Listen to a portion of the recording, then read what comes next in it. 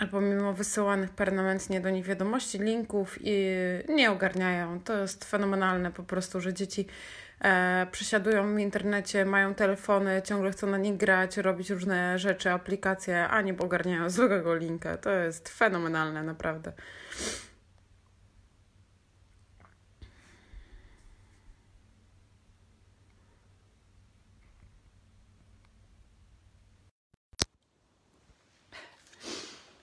Dzień dobry.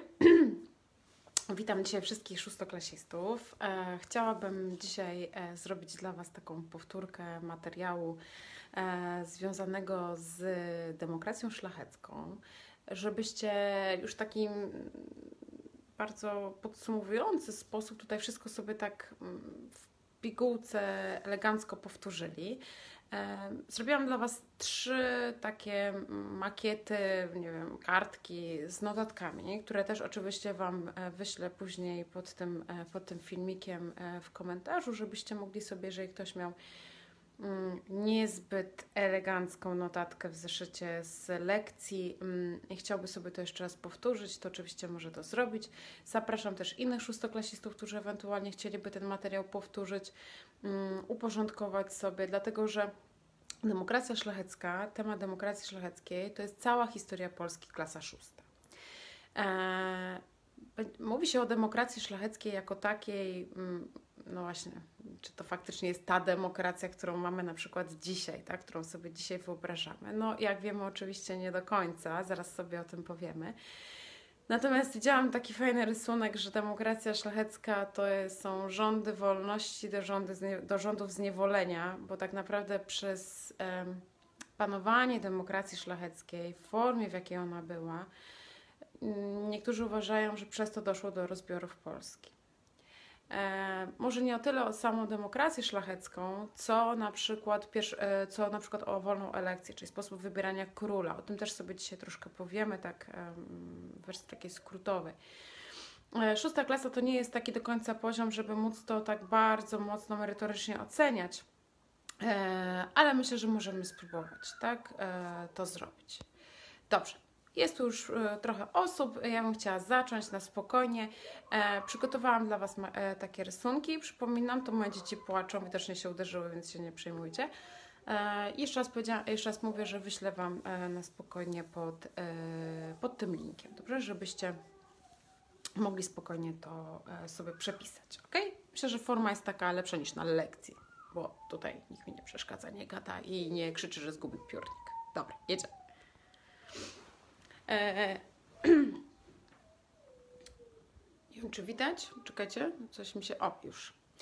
E, aby omówić początki demokracji szlacheckiej w Polsce, musimy się cofnąć troszeczkę do czasów pierwszych piastów, czyli to do wieku mniej więcej X-XI wiek e, i początków monarchii w naszym e, państwie.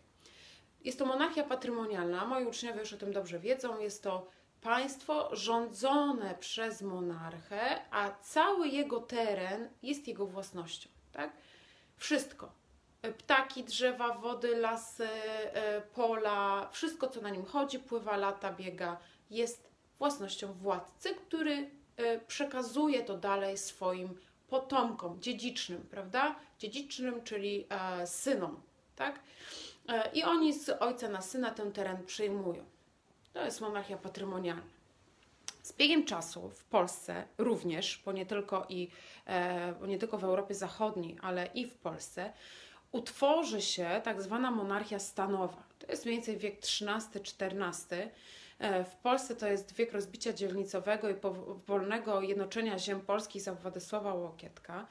E, I tutaj chciałabym, żebyście zwrócili uwagę, na czym polegała ta monarchia stanowa. Czyli monarcha, ponieważ nie jest już tak trochę w stanie rządzić całą ziemią, e, całym terenem, e, postanawia dzielić tę ziemię pomiędzy e, jakieś, nowe, jakieś, wybrane, jakieś wybranych ludzi, wybrane grupy społeczne i daje im pewne prawa i obowiązki. W Polsce akurat będą dwie grupy, które będą miały największy wpływ, największą władzę i będą to oczywiście duchowni i rycerstwo. E, rycerstwo oczywiście jest to wiadome, no jest to grupa społeczna, która będzie broniła władcy kraju, dostaną ziemię, z której będą mogli czerpać korzyści e, e, i tak dalej. No a duchowni prowadzą misję, misję chrystianizacyjną. Z tym chrześcijaństwem na ziemiach polskiej też było dość różnie. Pomimo tego, że Mieszko przyjął chrzest w X wieku, mamy takie falowe, e, można powiedzieć, ja tutaj sobie wezmę na chwilkę na siebie, mamy takie etapy y, lubowania się w tym chrześcijaństwie i mamy tak, że zamieszka, no to będzie du, du, dość dużo, potem jak władza y, królewska osłabnie, no to mamy powrót do tego, y, do tych ludu, do tych wierzeń pier, tych słowiańskich, tak? Potem znowu ten wybój do chrześcijaństwa i potem znowu troszeczkę do, powrót do, do korzeni słowiańskich. No dla, no tutaj na tych terenach jakoś tak trudno było to chrześcijaństwo przyjąć, no ale ostatecznie e, się e, chrześcijanom to udało, tak? czy, czy już później katolikom, mówiąc, e, mówiąc wprost. Tak? Idźmy dalej.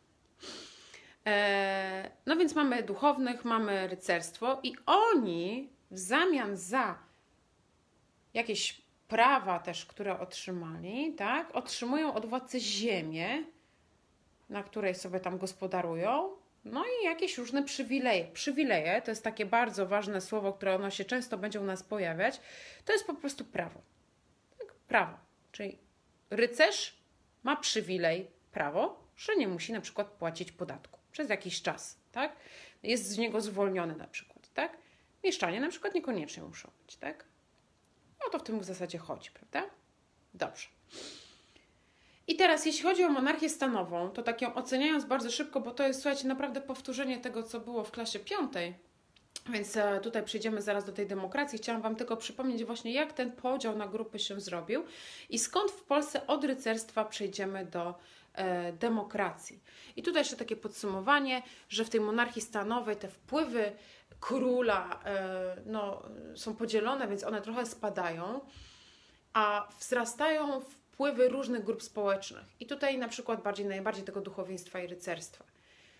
I teraz w Europie Zachodniej pozostało już na tym, ale władca ciągle starał się utrzymać władzę w swoich rękach. Natomiast w Polsce, i teraz, e, przepraszam, nie to, nie to, nie to, o, nie to znowu.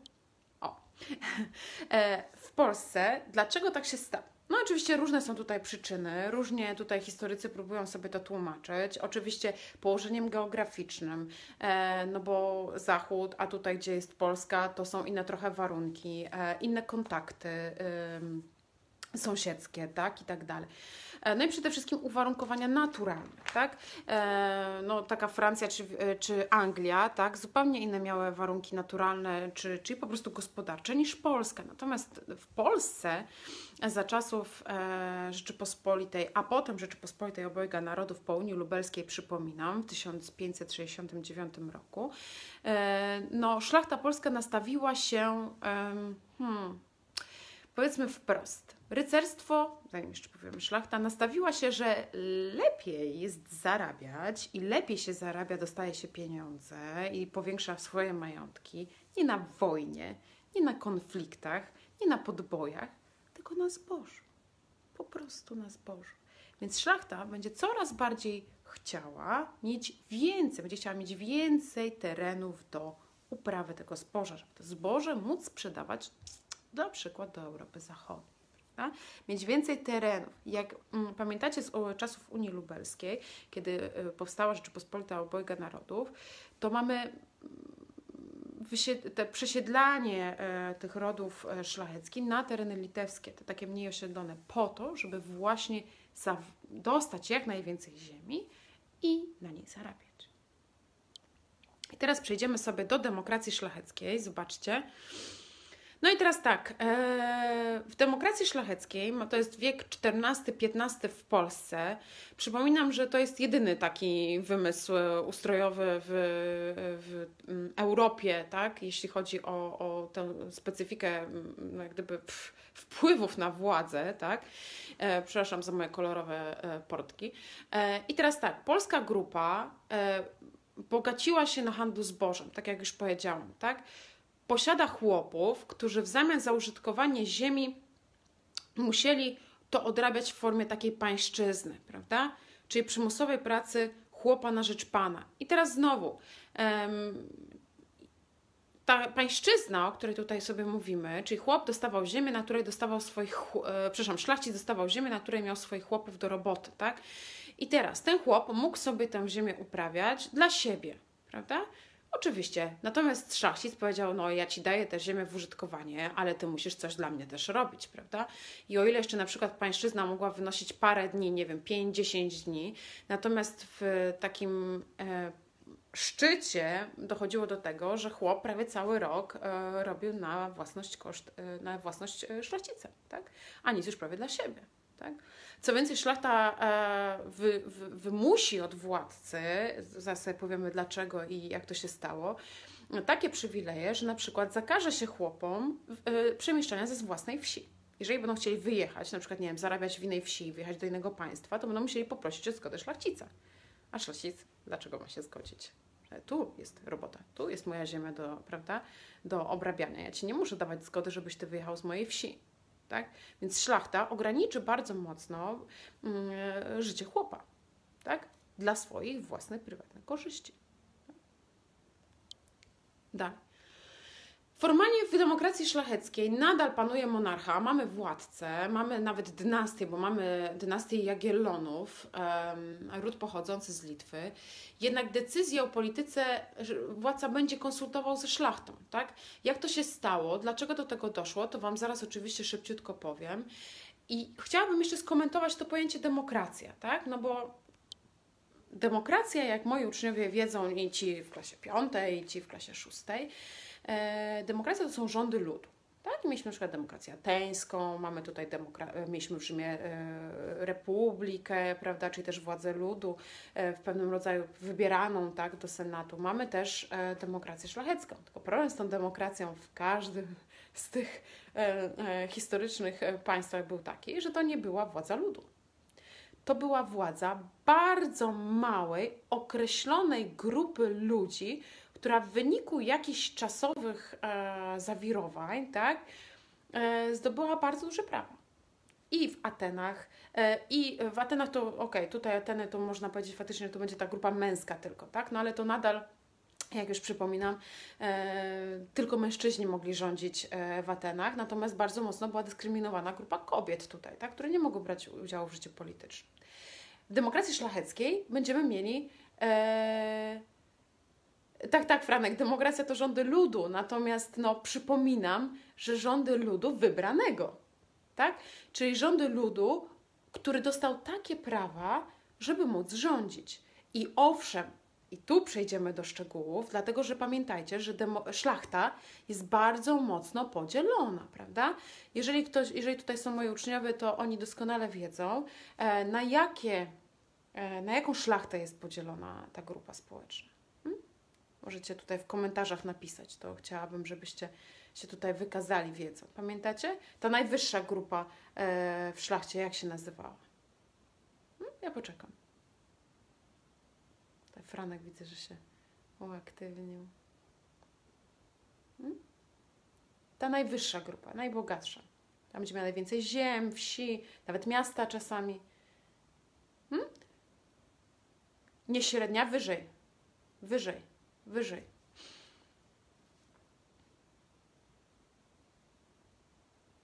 Magnateria. Tak? Magnateria, dokładnie.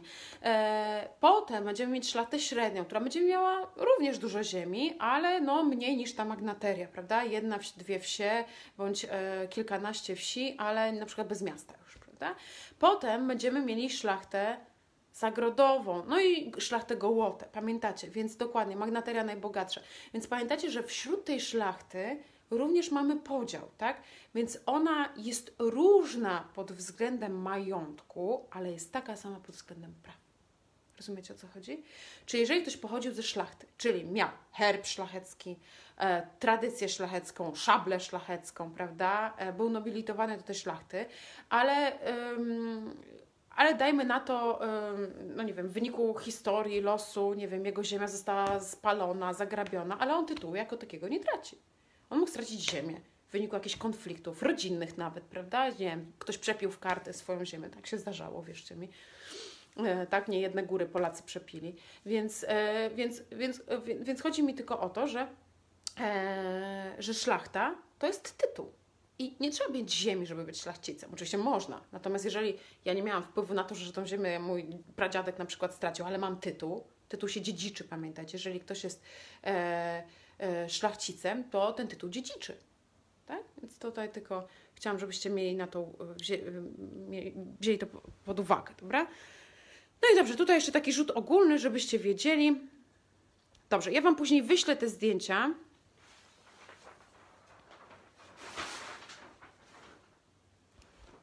I teraz zobaczcie.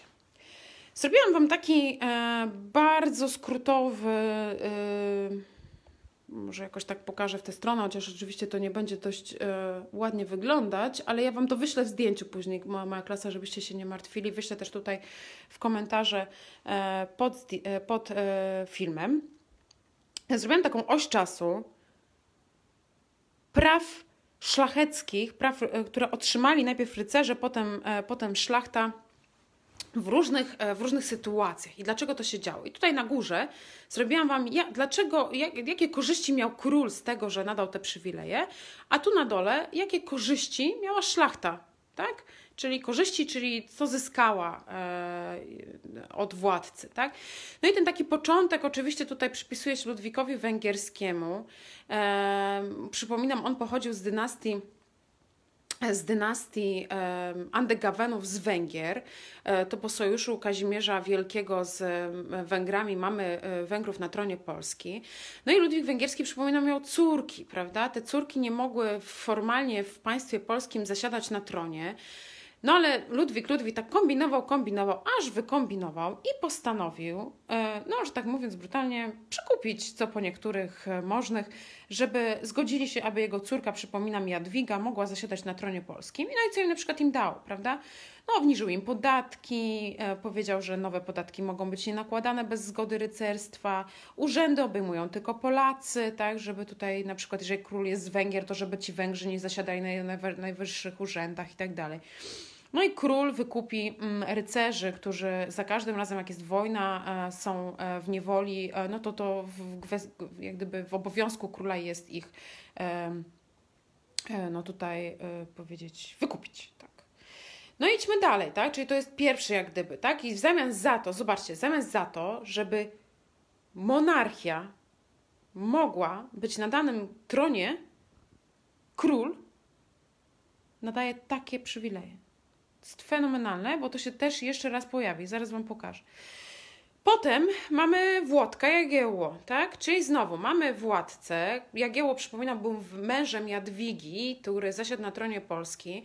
On pochodził z Litwy. Tu mamy te pierwsze sojusze polsko-litewskie, o których sobie w klasie piątej e, mówiliśmy, w klasie szóstej, piątej. E, I teraz zobaczcie. Po to aby szlachta wzięła udział w wojnie. Tak? Król wypowiada wojnę zakonowi krzyżackiemu. Przypominam, że Jagiełło pochodzi z Litwy, to już tak bardzo skrótowo tutaj powiem.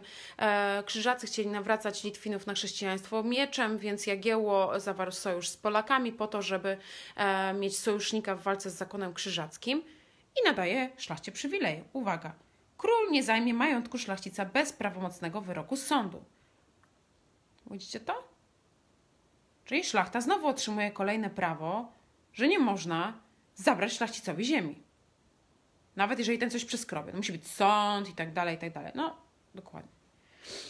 Kolejne prawo Jagieły i teraz znowu zobaczcie. Aby syn Jagieły mógł zasiąść na tronie Polski, pum, dajemy szlachcie prawo. Król nie uwięzi szlachcica bez wyroku sądu.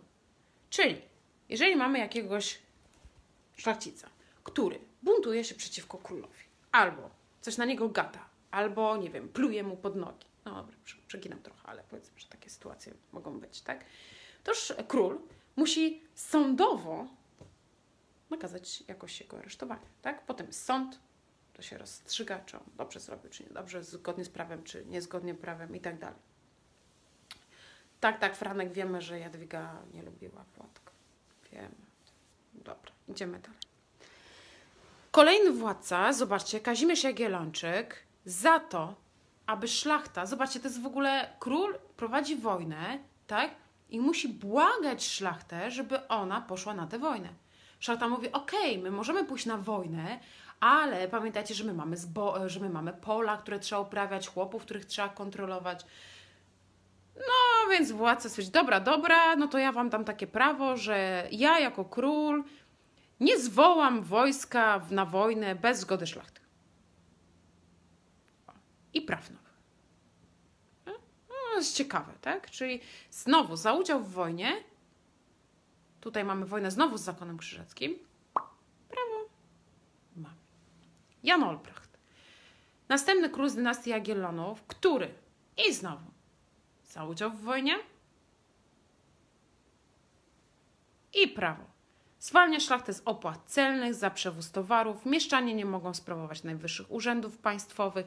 To, jest, to są bardzo ważne prawa, dlatego że od tego momentu zaczyna się bardzo mocna dominacja szlachty w handlu w Polsce.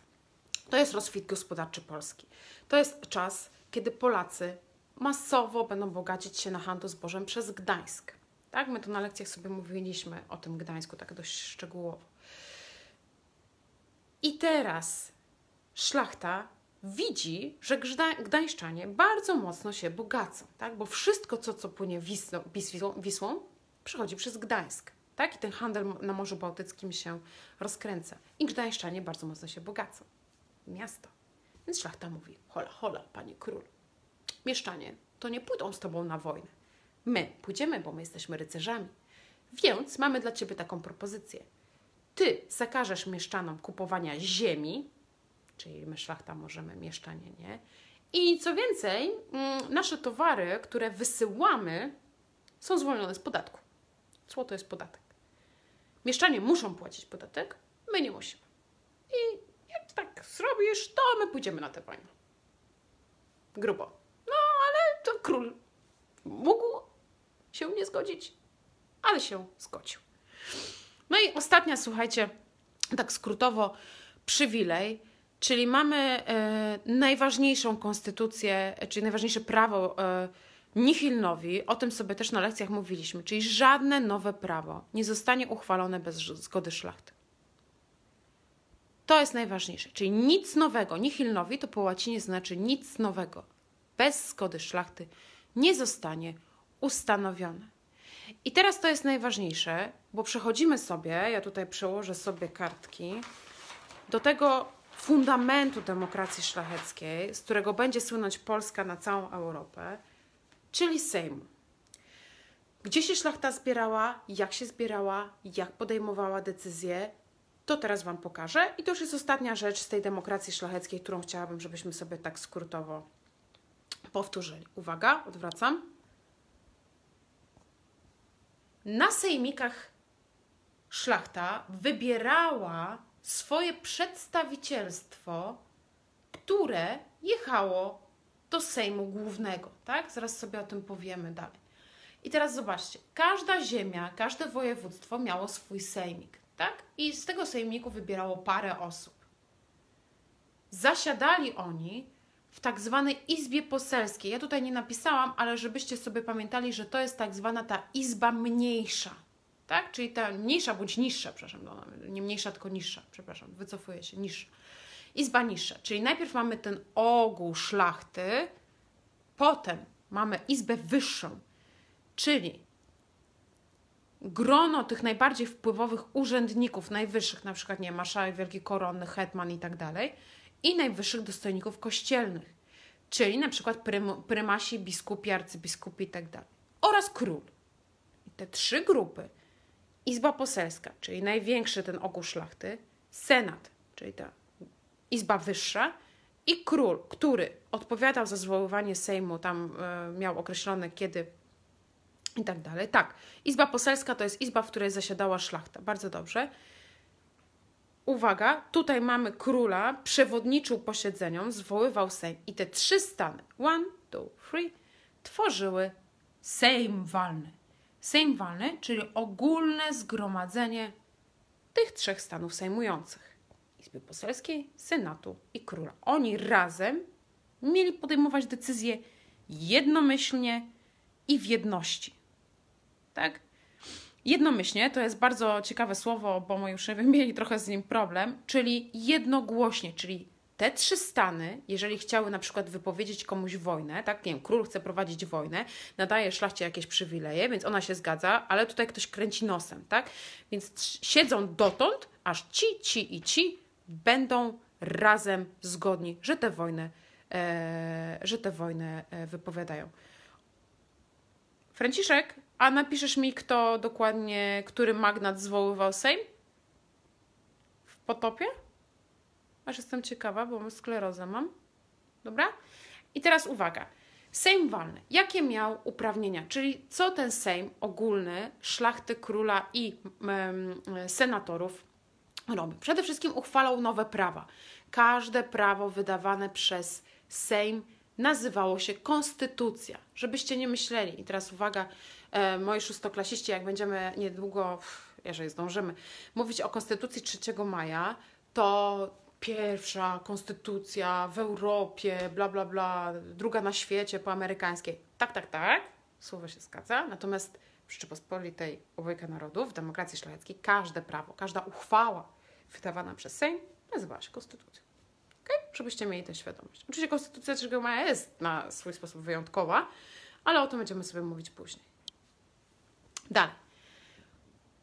Sejm dalej zajmuje się polityką zagraniczną, prawda? Uchwala podatki, ustala liczebność wojsk i tutaj na przykład, zobaczcie, to jest bardzo ważne, bo e, moja klasa, która już omawiała powstanie Chmielnickiego, to wiecie o co chodzi, o ten rejestr kozacki, tak? To senatorowie, posłowie i król ustalali właśnie tę liczebność e, wojsk kozackich. Wydatki państwa, jego przychody, czyli ile król ma w, państw, e, w, w skarbcu pieniędzy i na co może jej wydać i dlaczego ma ciągle ich mało, bo szlachta nie chce płacić podatków i tak dalej, oraz zgoda szlachty na e, e, wyruszenie pospolitego ruszenia na wojnę. Prawda? Dokładnie. No i przechodzimy już do ostatniego elementu związanego z demokracją szlachecką, czyli takiej creme de la creme władzy szlacheckiej, czyli wolna elekcja. Elekcja czyli wybór, wolny wybór. No, oczywiście o kogo chodzi? O króla, czyli szlachta. I teraz ja sobie tutaj wezmę na siebie, bo tak trochę mi się ręka trzęsie. Szlachta po śmierci e, Zygmunta Augusta będzie wybierała król. Nie mamy już dynastii. Jagiellonowie już, ta mm, linia męska oczywiście e, dynastyczna wymarła. E, mamy Annę Jagiellonkę, która jeszcze tutaj będzie tam na tym gruncie Jagiellonów e, e, próbowała rządzić. Oczywiście wybierzą, wybiorą dla niej męża, bo bez mężczyzny to się słabo rządzi, prawda? E, więc, więc tutaj e, ci Jagiellonowie jako tacy jeszcze będą tutaj próbować wpływać, ale to już, to już nie będzie to samo. Stefan Batory spoczko, ziomek, tam troszkę porządzi. E, natomiast po nim e, na tron Polski przyjdzie dynastia Wazów, e, która też ma połączenia z Jagiellonami, o tym sobie na lekcji mówiliśmy, mm, natomiast to już są Szwedzi.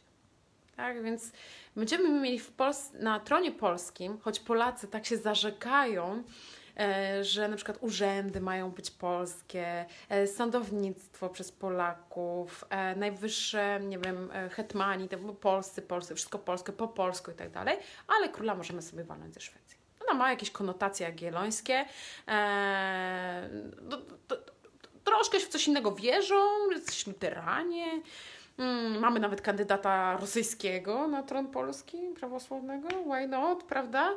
E, jego oczywiście nie wybierzemy, ale wybierzemy sobie na przykład Francuza. A co? Króla z zachodu, prawda? Który uciekł e, szybciej niż tutaj jechał, więc e, no, także słuchajcie, ciekawe, ciekawe. Ja tutaj przejdę do tych, tej rozpiski. No i mamy wolną elekcję, czyli śmierć, czyli to są takie etapy. Tak? Etapy, czyli co musiało się stać, e, czy co się stawało, jak umierał albo król e, detronizował. Co to znaczy detronizował? To znaczy rezygnował z tronu. Tak? Nie wiem, był za stary, był chory, albo już nie chciał rządzić, tak? E, mamy przypadek Jana Kazimierza e, Wazy, który po wojnach, które prowadził, e, tak, w swoim kraju już tak zmęczony, że po prostu stwierdził, że odda się do zakonu medytacją, bo już ma dosyć rządzenia tym krajem. Dalej, w czasie, kiedy król umiera bądź e, e, oddaje władzę, władzę w państwie przejmuje tak zwany interrex. Interrex, czyli po łacinie między król, tak? Czyli ktoś, kto będzie chwilowo podejmował jakieś decyzje e, w państwie. I tutaj e, tym interreksem zazwyczaj w Polsce będzie prymas Polski. Tak? E, prymas będzie tę władzę sprawował i on, uwaga, zwołuje Sejm elekcyjny. Tutaj, przepraszam. Sejm elekcyjny. Czyli to. I znowu trzeba wybrać szlachtę, która przyjedzie. No, Sejm elekcyjny. I teraz uwaga. Ten Sejm elekcyjny wybiera nowego władcę. Jak to się odbywa? Bardzo szybciutko Wam powiem, a mianowicie e, jest konkurs na Króla Polski. Tak? Przyjeżdżają na Sejm elekcyjny, to oczywiście trwa, to nie trwa trzy tygodnie, tak, że zwoływanie tego Sejmu, tylko zazwyczaj trwa parę miesięcy, zanim te wszystkie ziemie się dowiedzą, zbiorą, ogarną, przyjadą przede wszystkim. Pamiętajcie, że nie było samochodów, więc wszyscy konnicą jeździli, więc to trochę zajmowało czasu. E, I przyjeżdżają posłowie, tak? no, posłowie z danego państwa, którzy mają swojego chętnego kandydata, który chciałby porządzić Polską. Tak? I przyjedzie taki Francuz, e, z Rosji na przykład, z Mołdawii, e, ze Szwecji. Tak, mamy różnych kandydatów. No i szlachta mm, zastanawia się, który jest lepszy, który gorszy, kto da nam więcej, a kto nam zabierze więcej. Tak? Tutaj trzeba sobie tutaj e, się zastanowić, który jest dla nas najbardziej korzystny. Tak? Już nawet nie mówię, że dla państwa dla nas, szlachty, który dla nas, szlachty, będzie kochany i wspaniały, który dla nas, szlachty, nie zabierze naszych praw i przywilejów, który dla nas, szlachty, będzie robił jak najwięcej, czyli zwalniał nas z podatków, który dla nas, szlachty, będzie robił jak najwięcej, czyli prowadził takie wojny, żebyśmy byli zadowoleni i korzystali z najwięcej. Ja przepraszam, że ja tak um, tą szlachtę um, no ale no, no, taki mam stosunek do szlachty polskiej. Oczywiście każdy może mieć swój własny, może powinno być bardziej obiektywny, ale nie potrafię w tym momencie. E, przejdźmy dalej. E, no i szlachta na tym sejmie elekcyjnym wybiera swojego własnego króla i ten król, punkcik piąty, no dajmy na to, nie mamy sześciu kandydatów, spodobał nam się jeden, jednomyślnie go wybieramy, no i mamy e, zaprzysiężenie tego nowego króla. On co zaprzysięża? Swoje pakta konwenta. Pakta konwenta to są takie osobiste zobowiązania króla, który jest wybrany. I na przykład, moi uczniowie wiedzą, już tam czytali kiedyś takie pakta konwenta e, jednego króla, że na przykład ja, król przyszły Polski, zobowiązuję się, że za własne pieniądze, oczywiście za własne, nie za szlacheckie, e, wyremontuję Akademię Krakowską i będę opłacał każdego studenta, który będzie się tam uczył. Ja, król Polski przyszły, zobowiązuję się, że na przykład wybuduję na granicy państwa więcej e, fortyfikacji obronnych.